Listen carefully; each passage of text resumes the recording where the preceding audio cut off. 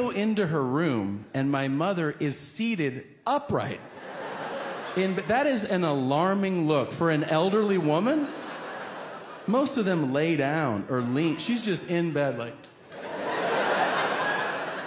I go, Are you okay? And she goes, No.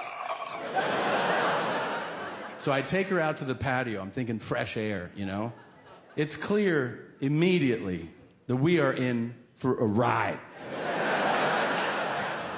The first thing she does, she goes,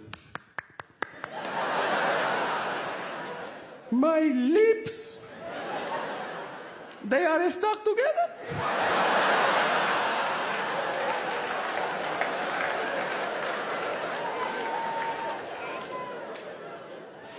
I go, I'll get you some water.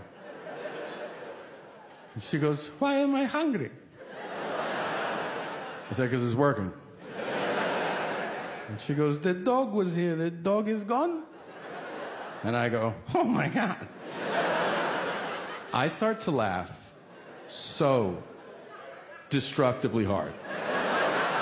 It, it is not ha ha ha. It is a deep, primal. I'm watching my 77 year old mother get high. I'm not laughing. My nervous system is shutting down, all right? I mean, I'm watching her look at sounds. You know, she's like.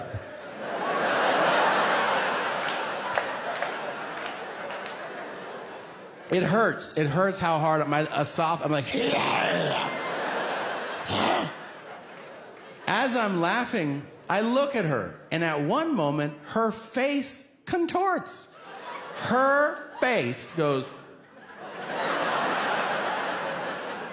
And she looks at me and she goes, Tomorrow, your laughter will be tears on my corpse. And I'm like?